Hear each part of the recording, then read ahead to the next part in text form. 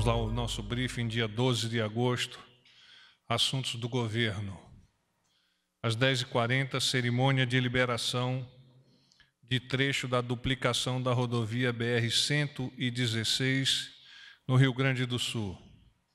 O presidente, acompanhado dos ministros Augusto Heleno, do GSI, Onyx Lorenzoni, da Casa Civil, Luiz Eduardo, da Secretaria de Governo, e Tarcísio de Freitas, da Infraestrutura, além de parlamentares, inaugurou 47 quilômetros de pista duplicada na BR-116 Rio Grande do Sul, entre Pelotas e Porto Alegre. Esse trecho foi licitado em 2002 e até hoje não havia sequer sido liberado um quilômetro.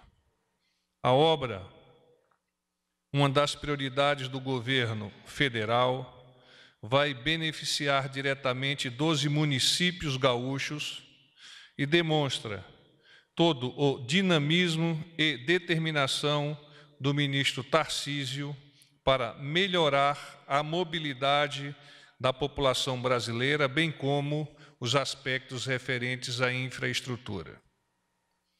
Às 13 horas, o senhor presidente esteve em visita ao canteiro de obras do quarto grupamento de engenharia do Exército Brasileiro. Além de liberar os 47 quilômetros já citado acima, o presidente visitou outras obras que estão sob a responsabilidade do Exército, nos lotes 1 e 2 da mesma rodovia, que perfazem um total de 50,8 quilômetros e que avança em excelente ritmo. A comitiva também sobrevoou a nova ponte do Guaíba, com previsão de conclusão no primeiro semestre de 2020. Vamos aos assuntos dos ministérios. Ministério da Cidadania. O Ministério da Cidadania, oh, perdão, o ministro da Cidadania, Osmar Terra, exaltou o resultado nos Jogos Pan-Americanos de Lima, no Peru, com a obtenção do segundo lugar geral, feito que não acontece desde a edição de 1963 em São Paulo. Além disso, destaca-se a conquista do maior número de medalhas em Pan-Americanos, totalizando 171 medalhas sendo 55 de ouro, 45 de prata e 71 de bronze, superando todas as expectativas projetadas. Dos 40, 485 atletas que fizeram parte da delegação brasileira em Lima, 337, ou seja, 70%, receberam e recebem o Bolsa Atleta. Do total de medalhas conquistadas pelo Brasil, 151, 83% foram conquistados por esses bolsistas. O investimento anual nesses atletas ultrapassa a casa dos 14 milhões de reais. O resultado alcançado pelo Brasil consolida o programa Bolsa Atleta como o maior patrocinador individual e direto de atletas no mundo. Desde 2005, já foram concedidas mais de 63 mil bolsas para esportistas de todo o país. Atualmente, são 6.200 atletas patrocinados por esse programa.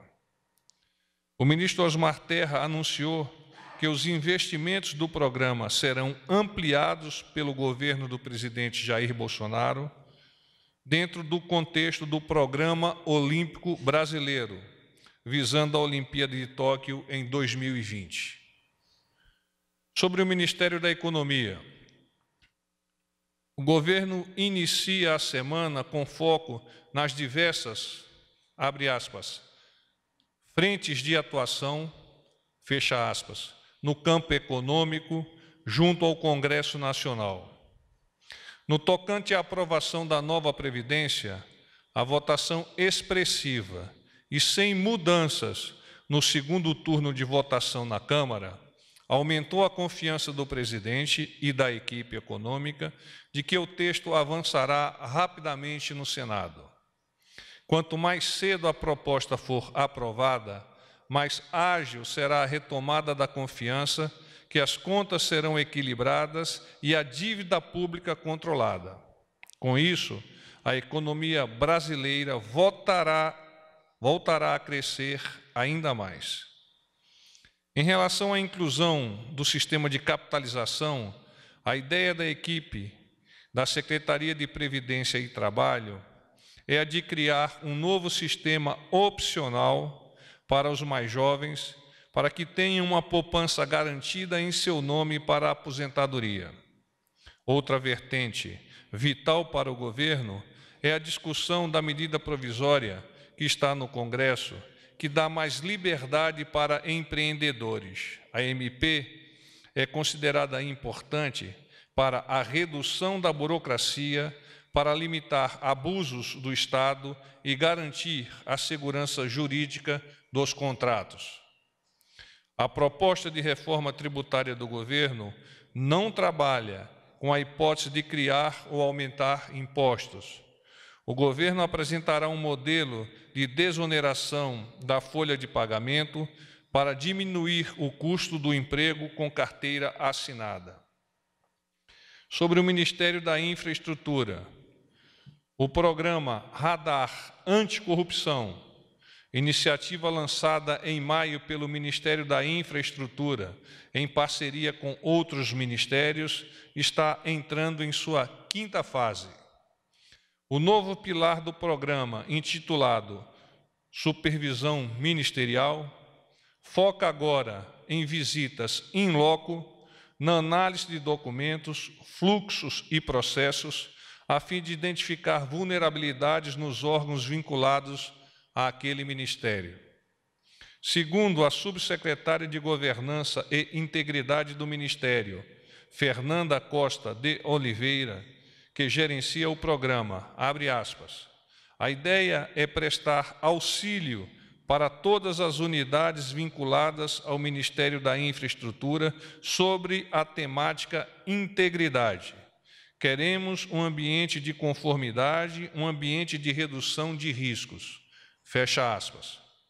O trabalho começou com visitas às companhias DOCAS e outras estruturas de governo ligadas ao ministério também serão supervisionadas dentro desse cronograma. O resultado da ação, além do encaminhamento de eventuais ilicitudes para as autoridades policiais e órgãos de controle, deve gerar relatórios com recomendações de boas práticas e sugestão de programas de compliance para resguardar o conjunto do Ministério no combate à corrupção. Dito isto, coloco-me à disposição de vocês. Boa noite, porta-voz. Jussara Soares, repórter bem, do Globo. Jussara? Tudo bem. Porta-voz, queria saber como que o presidente tem acompanhado as eleições na Argentina, que nas, nas primárias deu vitória ao, é uma derrota ao Macri, que é um aliado do presidente, e queria saber se, em caso de, da vitória do Alberto Fernandes, da Cristina Kirchner, se o, o governo brasileiro vai estudar uma mudança em relação ao Mercosul. Obrigado. O presidente Jair Bolsonaro já declarou em diversas oportunidades a sua preocupação com relação ao retorno do que chama de kirchnerismo e a consequente implementação de uma ideologia contrária aos interesses da integração e que possa prejudicar o salutar processo democrático em curso na América do Sul. Essa preocupação está voltada principalmente ao direcionamento da política argentina, parceiro estratégico do Brasil, na contramão do desenvolvimento econômico e da liberdade de comércio.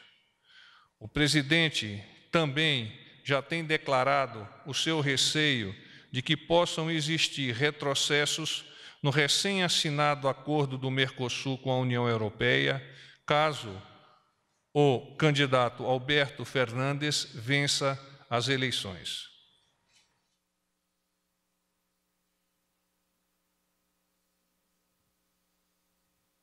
Oi, boa noite, porta-voz. Tudo bom, Murakawa? Tudo bom.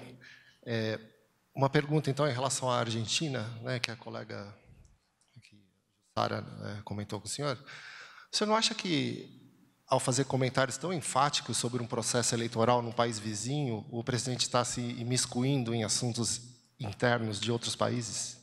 Nós precisamos entender toda a maturidade do Mercosul e dividi-lo em três blocos.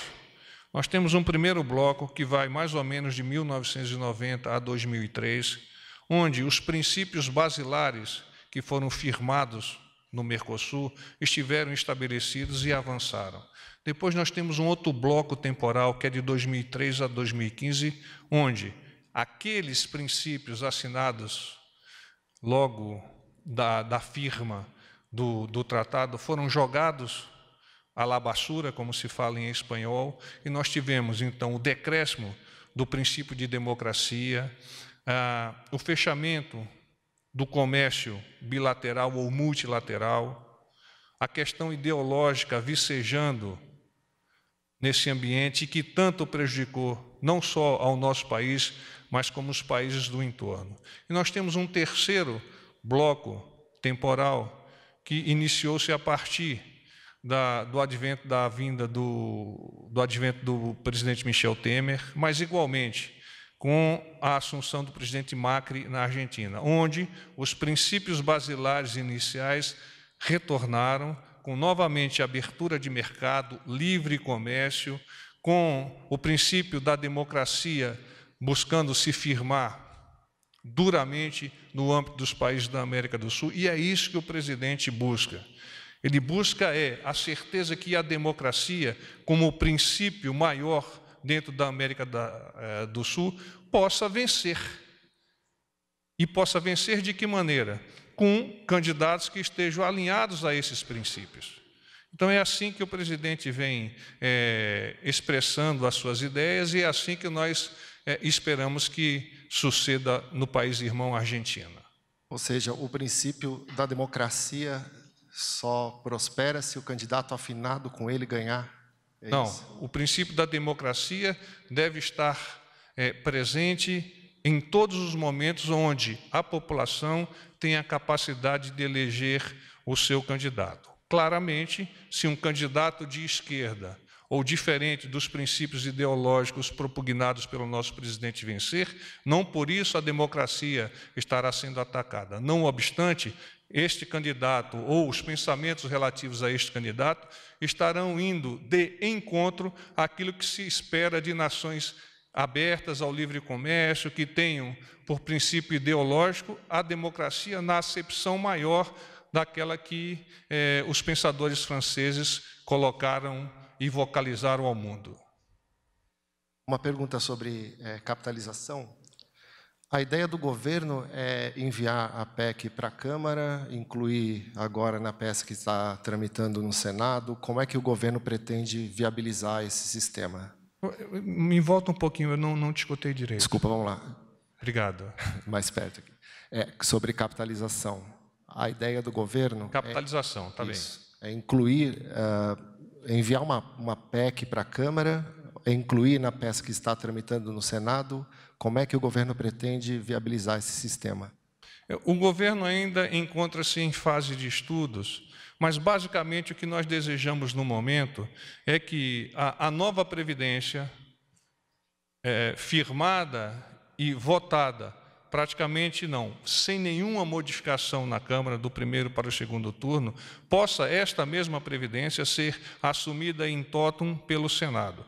Nós sabemos que o Senado, com a sua capacidade de eh, deliberar sobre a nova Previdência, pode eventualmente fazer alguma modificação. Mas nós entendemos que qualquer que venha a ser a modificação prejudicará a sociedade brasileira. Então, a esperança, e mais do que a esperança, a certeza do governo, é que os senadores, que são extremamente responsáveis e conhecem de suas responsabilidades, possam é, assumir essa reforma da Previdência como veio da Câmara e o mais rápido possível votá-la. E, e sobre PGR, prometo que é a minha última porta. Ele está tomando a, a, o tempo da pergunta de vocês aí. Hein? É rapidinho. É, o, o, presidente é, descarta seguir a lista tríplice? O presidente já vem é, vocalizando, e não é ilegal o que ele vem vocalizando, a seleção de, de, de pessoas num amplo espectro do Ministério Público para a, a indicação como procurador-geral do Ministério Público Federal. É nesse contexto que ele trabalha, ele não descarta nem, nem assume que estará a escolher da lista ou fora dela. Ele está num processo de, de, de madureza, de conversas, e a partir de que ele tenha a percepção correta do que é melhor para o país, ele vai escolher e vai indicar e vai vocalizar por meio da imprensa a sociedade brasileira. Ele disse na semana passada que a escolha seria até a sexta dessa semana. Esse prazo está mantido? Ele não comentou isso comigo, mas eu sei que realmente ele expressou essa intenção. Até porque existem prazos que precisam ser é, compreendidos e insertados no processo de seleção para que depois é, lá no Congresso, essa, essa pessoa indicada possa assumir com toda tranquilidade e que haja um tempo de, de, de reemplaço, é que eu estou falando da Argentina, um tempo de, de troca de informações. Obrigado, porta-voz. Eu que agradeço. Boa noite. Ingrid do Correio Brasiliense. Tudo bem, Tudo. Eu queria saber se o presidente ele se pronunciou a respeito da decisão da Justiça de suspender o decreto sobre o grupo de combate à tortura. Você está falando da questão da Justiça Federal do Rio de Janeiro, não é isso? Bem, o Ministério Público, perdão, o Ministério da Mulher, da Família e dos Direitos Humanos entende que a medida que exonerou os peritos atende não a medida de exoneração, mas a proposta do Ministério atende a todos os parâmetros legais e confia que a Advocacia Geral da União irá reverter essa decisão. Quanto a esse assunto, o próprio presidente esclareceu o seguinte, abre aspas, eu não vi os argumentos da Justiça, eu conversei com o presidente hoje à tarde, mesmo no retorno dele lá no Rio Grande do Sul, mas o perfil que nós queremos palavras do presidente na comissão, é esse mesmo, é o de seriedade. Fecha aspas. É, eu também queria saber a respeito da informação do Banco Central que saiu hoje, da prévia negativa do PIB, de que o Brasil voltou para a recessão técnica. Eu queria saber se o presidente esboçou alguma preocupação nesse sentido. O presidente vem conversando com o ministro Paulo Guedes, inclusive já verbalizou que aspectos mais técnicos devem ser direcionados àquele ministério. Ele não fez nenhum comentário comigo é, sobre esse tema especificamente, nessa questão da, da recessão técnica que você comentou na sua pergunta. Poderia adiantar ao presidente, eventualmente amanhã eu teria uma resposta mais, mais adequada. Uma última pergunta. É, o presidente disse hoje também que o Brasil não vai ter mais radares móveis a partir da semana que vem. Eu queria saber se a gente tem maiores detalhes de como isso vai acontecer, de como isso vai ser feito. Isso é um pensamento do presidente, não especificamente no Rio Grande do Sul, que é onde você está, está colocando a pergunta, não é verdade? É, o pensamento do presidente é maior. Ele entende que os radares é, precisam ser repensados e o ministro Tarcísio já está debruçado sobre isso. Existem condicionantes técnicas, condicionantes jurídicas, e o somatório dessas condicionantes levará o presidente, por meio do Ministério da Infraestrutura, a tomar as suas decisões. O porta-voz, boa noite. Cláudia Gonçalves, tudo da bom, TV Cláudia? Record, tudo bem? É, eu queria voltar ao assunto do Mercosul, ver se vai ser discutido amanhã esse assunto novamente, né? Quer dizer, novamente não ser discutido na reunião. Sim, certamente que sim. É, se ele vai apresentar isso como alguma proposta mesmo, ele pretende escutar os ministros com alguma mudança nessa relação, né?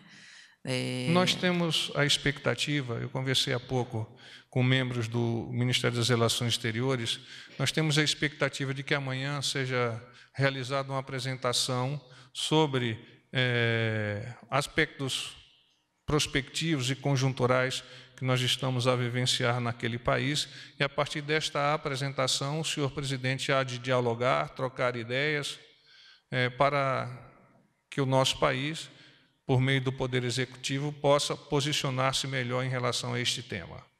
E ele tem conversado com o presidente Macri sobre esse assunto? Eu não conversei porque a, a, o El Paso, como eles chamam, ocorreu domingo. Hoje o presidente viajou para o Sul, eu não tive a oportunidade de dialogar com ele nesse sentido. Não sei se ele ligou para o presidente Macri. Pois não. E você acha que sairia alguma, algum anúncio amanhã, provavelmente? Ao final da reunião, nós estaremos, como sempre, dispostos a, a apresentá-la a vocês eh, no próprio briefing, mas se eventualmente for necessário, nós nos eh, disponibilizamos para adiantar alguma coisa. Obrigada. Boa noite, porta-voz. Manuela Albuquerque, do Metrópolis. tudo, bem? tudo bem? Tudo bom. Porta-voz, é, o relator da Previdência no Senado sugeriu que o presidente é, deixasse de lado um pouco as declarações polêmicas. Eu queria saber se o governo tem alguma estratégia, o Bolsonaro vai maneirar um pouco nas declarações, uh, no Alvorada, tem alguma previsão? O senhor presidente confia na responsabilidade dos senhores senadores em aprovar, no menor prazo possível, a nova Previdência. Fora disso, comentários de eventuais autoridades de quaisquer que venham a ser os poderes, ele não está levando em consideração nesse momento.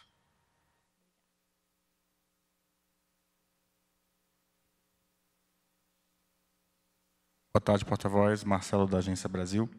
É, o presidente sobre a Argentina ainda.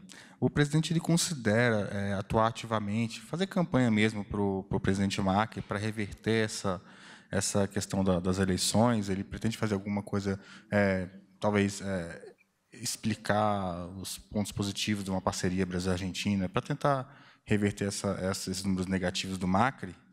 E outra pergunta é, em caso de vitória da oposição, o, o presidente e o governo, de maneira geral, já pensam é, como será essa questão comercial, se vão sentar à mesa para dialogar, rever alguma coisa ou não, se vai ficar tudo igual. É isso. Eu agradeço. É parte da nossa diplomacia o estabelecimento de diálogo com todos os nossos é, países irmãos. Naturalmente, o será com a Argentina numa eventual é, vitória do candidato adversário do presidente Macri. É, é muito importante entender que o presidente não faz campanha em outro país, ele faz campanha no nosso país. Não obstante, ele pode expor a sua opinião em relação a fatos que venham a impactar o Brasil, país do qual ele tem é, o condão de liderar por meio do poder executivo. Então, dentro desse contexto, ele está expressando a sua opinião pessoal e até, por óbvio, a opinião institucional como presidente da República sobre o que ele pensa do que melhor seria para o nosso país. Ele jamais imaginaria é, imiscuir-se em, em questões políticas de outros países se essas questões não tivessem como resultado impactar a posição do nosso país.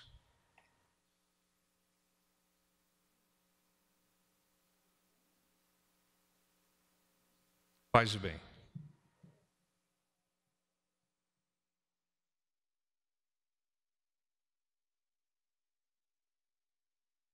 you